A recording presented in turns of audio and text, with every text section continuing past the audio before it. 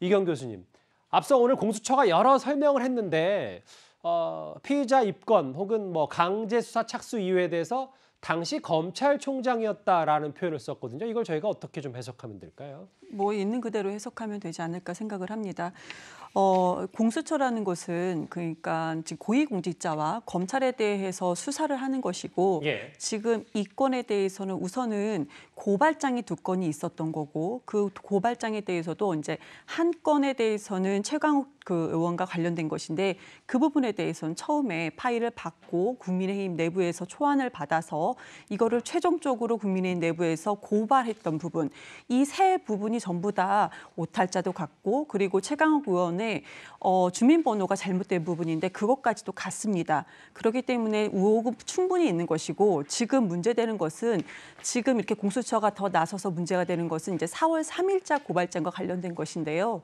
그 부분에 대해서도 앞서서 이 부분에 대해서 빨리 수사가 진행됐으면 좋겠다 이런 말씀을 국민의힘 쪽에서도 상당히 많이 했고 어 그리고 윤석열 전 검찰총장의 그 캠프 쪽에서 상당히 많이 했습니다. 그렇기 때문에 그 부분에 대해서 공수처 대상이 되는 사람들은 국회의원이고 검사들입니다. 그 부분에 대해서 진행되고 있는 것입니다. 음. 그리고요, 우리가 지금 여기서 좀 빠진 부분이 하나 있는데요. 어떤 부분입니까? 처음에 제보자가 그 제보자가 했던 그 핸드폰 있잖아요. 예. 그 핸드폰에는 김웅 의원과 그 텔레그램에서 파일을 받았다. 그러니까 명확한 그 파일이 있는 핸드폰입니다. 그러면 그 핸드폰을 지금 제출을 한 상태거든요. 대검찰청에 그럼요. 제출한 상태인데 그 부분에 대해서 이제 공수처에서도 어떻게까지 어느 정도까지 파악을 했는지는 공수처만이 알 수 있는 것이죠. 예. 근데 그런 부분이 지금 제출되어 있고 그 다음에 진행되고 있기 때문에 뭔가 있으니까 진행되는 것이지 전혀 아무것도 없는 상황에서 선거를 앞두고 이렇게 진행되진 않다라고 생각을 합니다. 예. 그리고 마지막으로 어, 지금 여야 할 것 없이 이 부분에 대해서는 선거를 앞두고 있고 그리고 그렇죠. 내부 경선이 이루어지기 때문에 빨리 진행되는 것이 좋다고 계속해서 말해왔습니다. 음흠. 그렇기 때문에 이례적으로 공수처가 너무 빨리 진행된다라고 비판할 것이 아니고 음. 이것은 빨리 해결되는 것이 맞다라고 생각을 합니다. 알겠습니다. 이 변호사님 법적인 것만 하나 짧게 여쭤볼게요. 그리고 다음 주제에 좀 갈 건데 여기 보면 네 가지 혐의 중에 개인정보보호법과 공직선거법 위반 혐의 이 두 가지 세 번째 네 번째 있는 거는 공수처 수사 대상이 아니란 말도 있는데 맞는 겁니까? 예, 아닙니다. 그래서 이 부분 이런 사건들이 있을 때 공수처가 생기면서 이제 직권 낭용 이런 부분은 공수처에서 하는 게 맞거든요. 근데 예. 공직선거법은 그 6대 범죄에 속하기 때문에 검찰에서 수사를 하게 돼 있어요. 그래서 이 사건이 처음에 언급됐을 때도 그럼 나눠서 해야 될 건가? 아니면 이 관련된 사건을 수사할 수 있게 공수처 규정이 있으니까 공수처에서 할 수 있게 할 건가? 아니면 봤을 때 개인정보 보호법 혐의나 공직선거법 위반 혐의는 거의 인정이 안 될 것 같다라고 생각을 하면 그래서 공수처에서 할 건가? 이런 문제가 있거든요. 그래서 이 부분은 공수처에서 어떻게 판단을 했는지 모르겠지만 관련 사건이기 때문에 수사는 할 수 있고요. 아니면 제가 말씀드린 것처럼 개인정보보호법 혐의 이 부분은 명확하게 나왔을 거예요. 그러니까 킥스의 로그인 기록이 있느냐 없느냐로 명확하게 나왔기 때문에 거의 예. 의미가 없다고 생각해서 그래서 공수처에서 나머지 직권 남용과 관련된 혐의를 주로 하니까 공수처에서 이걸 하는 게 맞다라고 생각하는지 이 부분은 앞으로 밝혀질 것 같고요. 예. 그리고 개인정보보호법 혐의와 관련해서는 윤석열 후보의 혐의라고 하기는 어려울 거거든요. 그래서 이런 부분은 어떻게 이제 이론 구성을 할지는 앞으로 살펴봐야 될 것 같고요. 그리고 제가 드리고 싶은 말씀은 사실은 이제 조희연 그 교육감 사건이 1호 사건이죠. 근데 4월 28일 날 입건됐는데 5월 18일 날 압수수색을 했었어요.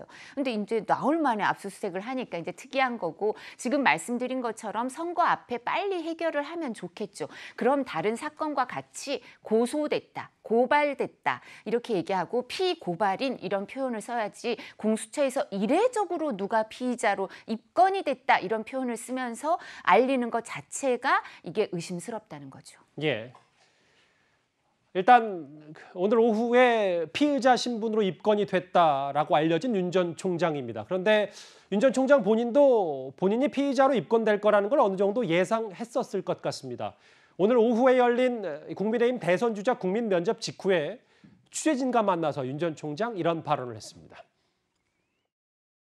자기들 사건에 대해서는 그냥 안 하고 뭉개고 이러다가 하게 되면 필요한 일이라고 하더라도 이런 얘기가 나오는 것이고 이 압수수색이 어떻게 보면은 좀 이 보여주기식의 어떤 사람들을 좀, 좀 망신주기식의 이런 압수수색이라고 생각을 하기 때문에 그런 말이 나오지 않겠나.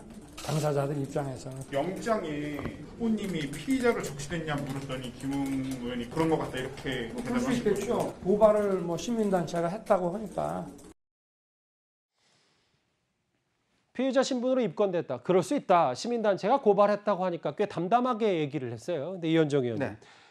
아까 윤 전 총장의 말 중에는 정권 사건, 자기들 사건에 대해서는 뭐 수사 안 하고 뭉개고 이러다가 야권만 압수액을 하게 되면 필요한 일이라 하더라도 반발이 나오는 거다.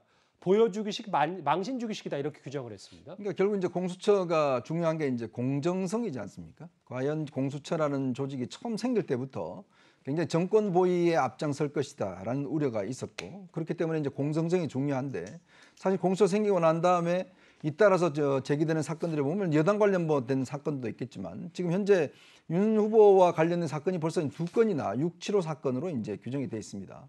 저는 근데 문제는 뭐냐 하면 이 공처가 원래 수사 규칙에 따르면요. 이렇게 사건을 고발을 어, 접수를 할 경우에 예비 조사를 하게 돼 있습니다. 그리고 또 내부적으로 이게 범죄가 되는지 안 되는지 여부를 판단하기 수사 규칙에 돼 있어요. 근데 문제는 뭐냐면 다른 사건들은 그렇게 하다가 윤 후보가 관련된 675 사건에 대해서는 이 예비 조사 없이 바로 입건해 버렸어요. 그래서 국회에서 법사위에서 그 조수진 의원이 이걸 문제 제기를 했습니다. 아니 왜 그 수사 규칙에는 예비 조사를 거치도록 되어 있는데 왜 윤 후보와 관련된 사건만 아무 조사도 없이 바로 입건했냐라고 하니까 김진욱 처장이 이 사건이 만약에 예비 조사를 하고 할 경우에 뭐 여러 가지 언론에 공개될 경우에 문제가 될 것 같아서 그렇게 했다라고 이야기를 하면서 그 규칙을 개정을 했어요. 언제 개정을 했냐? 바로 9일 날 이 개정해서 발표를 했습니다. 네. 공보 전자 공보에다가 발표를 했습니다. 발표를 하고 바로 윤 후보에 대한 이제 이 저 수사에서 바로 윤 후보를 피해자 신분으로 했거든요. 그러니까 결국 뭐냐면 모든 규칙이나 이런 게 결국은 윤 후보를 겨냥하고서 이렇게 움직인 게 아닌가라는 의문이 있는 거죠. 그러니까 그렇기 때문에 이 수사가 과연 공정하게 이루어질 것인가에 대한 의문이 있지 않습니까? 예를 들어 생각해 보십시오. 이성윤 중앙지검장이 그 공수처에 소환될 때 어땠습니까? 밖에다가 차를 대절해서 어, 거의 뭐 안에 에스코트에 모셔가서 수사하는 건지 안 한 건지도 모르게 공처장을 만나서 그것도 피해자 조사를 뭐 조서를 작성했니 안 했니 논란도 있었고 그 관련돼서 현재 그거는 또 고발돼서 있는데 수사가 전혀 진척이 안 되고 있습니다. 자 그런 상황에서 이 대선 후보인 윤 후보를 피해자로 입건했다는 사실도 공지를 하고 근데 네 가지 혐의에 대해서도 이게 지금 윤 후보와 관련되는지 안 되는지도 지금 이거 아까 뭐 이 이도하 변호사님 이야기했지만 개인정보보호법 같은 이 판결문 이거 한 거거든요. 이거는 손준성 변호사 관련된 겁니다. 그러니까 이런 것들을 네 개 혐의로 피해자가 됐다. 이것이 가지고 있는 이 상징 효과가 굉장히 크기 때문에 기본적으로 공수처 수사가 굉장히 불공정한 게 아닌가 이런 지금 의문을 가질 수밖에 없는 것이죠. 예. 근데 저희가 오늘 피의자 신분으로 입건이 됐기 때문에 전환이 윤 전 총장이 됐기 때문에 지금까지 공수처와 관련된 윤 전 총장 기록들을 좀 찾아보니까 김근식 교수님 예. 음, 입건된 게 이번이 벌써 윤 전 총장이 세 번째더라고요. 그렇습니다. 지금 워낙 뭐 윤 총장이 이 정부 들어서 이 정치적 사건과 검찰의 정치적 이슈에 한 복판에 있었기 때문에 지금도 이미 옵티머스 사건 관련해서 공수처에 고발이 접수가 돼 있는 상태고요. 그 유명한 한명숙 총리 모의 유증교사 의혹 수사 사건으로도 고발이 돼 있는 상태고 예. 이번에 다시 고발 사주와 관련해서 이제 입건이 돼서 이른바 저렇게 따지면 피의자로서 지금 세 번째를 맡고 있는 겁니다. 그래서 우리나라 형사소송법상 고발만 되어도 뭐 피의자로 된다는 것도 일단 조금 문제가 있는 거지만 공수처라고 하는 공정해야 될 기관에서 사흘 나흘 만에 압수수색을 하면서 관련이 없는 그러니까 김웅 의원을 참고인으로 압수수색하고 손준성 검사실을 그 관련자로서 압수수색하면서 관련이 없는 윤석열 총장을 피의자로 적시한 압수수색 영장을 가지고 왔다는 것은 무언가 정치적 의미를 우리가 좀 의심할 수밖에 없고요. 왜냐하면 지금 제가 오히려 볼 때는 지난해 뭐 그 저 4월 4 월 달에 손준성 검사가 했는지 모르겠지만 고발장이 접수해서 그대로 뭐 옮겨져 가지고 8월 달에 국민의회에서 고발을 했다고 그러는데 오히려 거꾸로 제가 보니까 이번 6일에 사생 시민단체에서 저- 고발한 접수장 그대로 지금 고발장 그 내용 그대로 압수수색 영장이 그대로 있는 것 같아요. 그냥 전달이 된 것 같아요. 그러면서 보면 공수처가 아마 이게 첫 이게 그 구성된 지 얼마 안 돼가지고 수사관들의 이런 분들이 익숙지 않아서 그런 것인지 아니면 이게 정치적으로 너무 서두르다 보니까 그렇게 된 것인지 이 부분을 좀 정확히 좀 애비 조사라든지 사실관계를 좀 파악한 다음에 압수수색 영장을 쓰더라도 적어도 사생이라는 진보 시민단체가 쓴 고발장과는 좀 다른 내용을 좀 정확히 확인된 내용을 써야 되는데 있는 그대로 썼다라는 의심을 좀 강하게 가질 수밖에 없습니다. 그래서 예. 저는 제가 오늘 공교롭게도 오늘 저도 점, 점심 시간에 전화를 받았어요. 영등포 경찰서라고 해서 전화를 받았는데 제가 방송 가서 황은하 의원을 이야기하면서 잘못 이야기했다는 걸 황은하 의원 측에서 저를 또 그 명예훼손으로 고발을 했다고 그래요. 예. 그러니까 저도 피의자가 됐다는 걸 처음 알았습니다. 김 교수님도 피의자 신분이 됐네요. 그렇습니다. 그러니까 그렇다고 제가 무슨 큰 죄를 졌습니까? 아마도 제가 방송에서 한 이야기는 따져보면 뭐 전혀 문제가 없는 걸로 나올 텐데 바로 이렇기 때문에 저는 뭐 아무것도 아닐 수 있겠습니다만 지금 야권의 제1 유력 대선 주자하고 지금 경선이 한참 진행 중인 상황에서 공수처가 이렇게 섣부르게 정치적으로 민감한 사안에 대해서 고발장 접수된 그 내용 그대로 마치 뭐가 있는 것처럼 네 개 혐의를 적시해 가지고 압수수색영장에 썼다는 것은 제가 볼 때 뭔가 좀 의심스럽다는 생각을 할 수밖에 없을 것 같습니다. 그래도 저희는 방송이어서 중립을 당연히 지켜야 되니까 황운하 의원 생각은 또 다를 수 있어요, 김 교수님. 알겠습니다. 잠시만요. 어, 중간 점검을 좀 해볼 텐데 공수처 관계자의 발언 얘기 저희가 한 속보 8개를 제가 한번 차례로 읽어보겠습니다. 아, 제보자 조사를 묻자 기초 조사를 했다고 했고 피고발인 4명 가운데 윤석열 전 총장과 손준성 전 정책관을 공수처가 입건했다 이렇게 얘기를 했어요. 아, 윤전 총장 앞서 저희가 전해드린 대로 직권남용과 선거법 위반 등 총 4개 혐의입니다.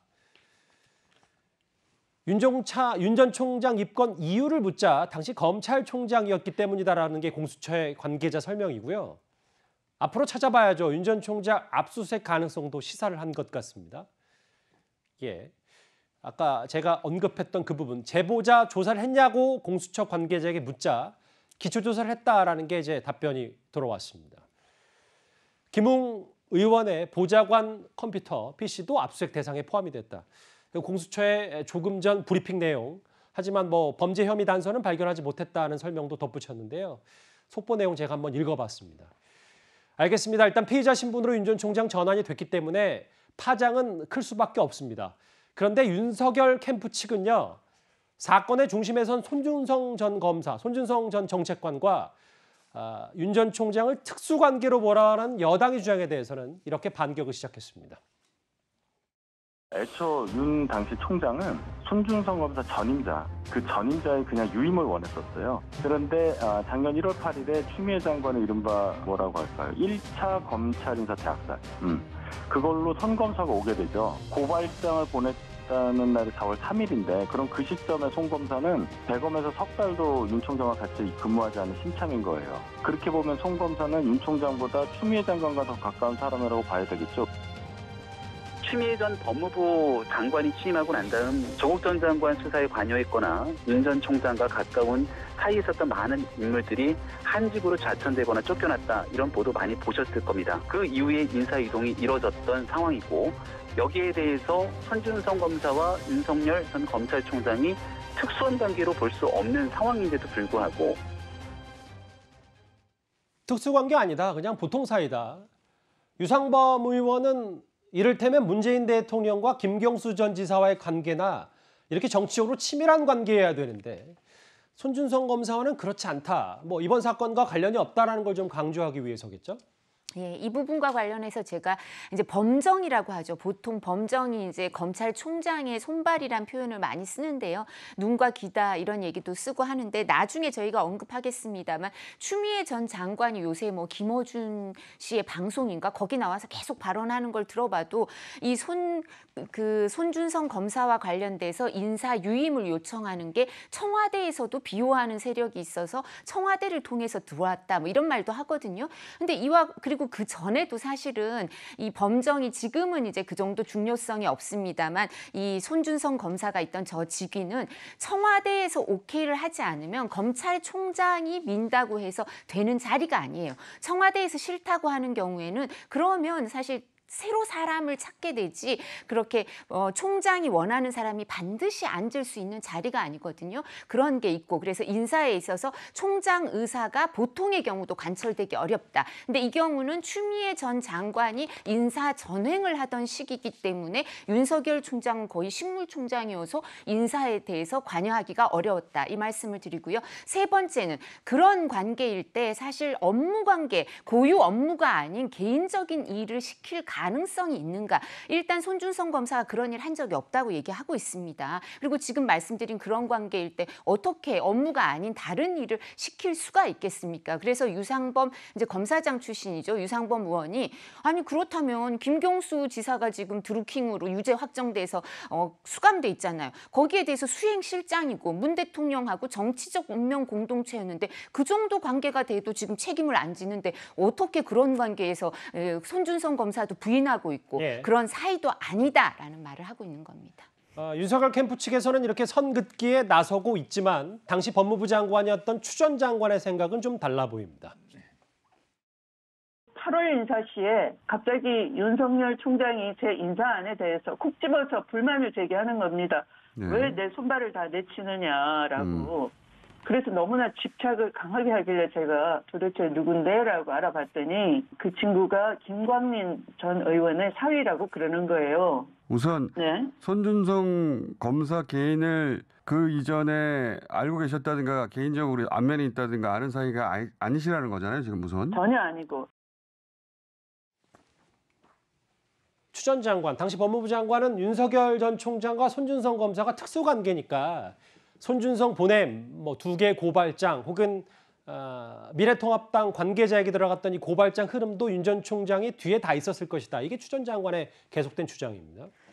어, 저는 추 전 장관의 그 주장이라고 하셨는데 그 부분이 어느 정도 타당하다라고 생각을 합니다. 왜 예. 그러냐면 제보자가 핸드폰을 이제 이미 제출해 아까 말씀드렸던 제출한 핸드폰이 어, 김웅 의원과 일대일 메시지였고 거기 김웅 의원이 준 파일에 그 보내준 파일에 손준서 보냄이라고 나와 있습니다.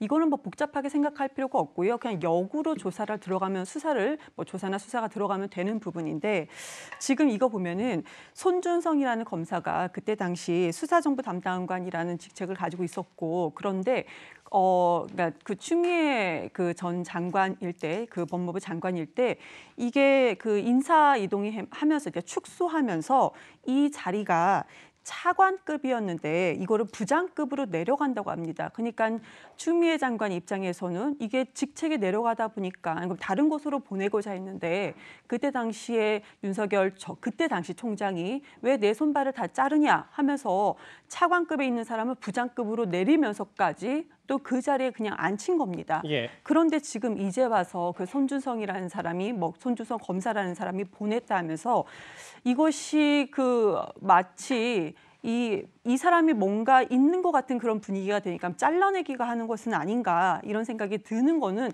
저 혼자만의 생각은 아닐 겁니다. 많은 분들이 여기서 이상하게 생각할 것 같고요. 그리고 윤희석 대변인 그러니까 그 윤 전 총장의 대변인 그 캠프의 대변인이 이런 얘기를 했습니다.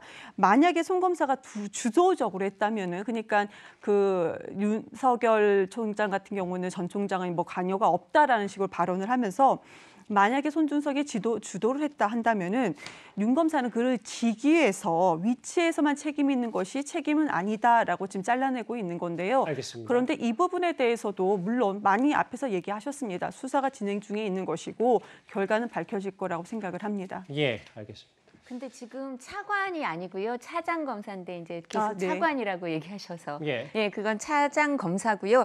이제 수사 정보 정책관은 제가 말씀드렸던 것처럼 추미애 전 장관이 다른 인터뷰에서 청와대에서 비호가 들어왔다는 얘기를 또 계속 하고 계시거든요. 그래서 아까 말씀드린 것처럼 이건 청와대와 그 검찰총장의 힘겨루기가 있을 수 있는데 즉 그 당시 윤석열 총장은 식물총장이었기 때문에 이건 청와대에 비호가 있다고 추미애 전 장관이 명확하게 얘기하셨으니까요. 뭐 청와대에서 예. 누가 비호했는지 추미애 전 장관이 지금 밝히시면 되겠죠.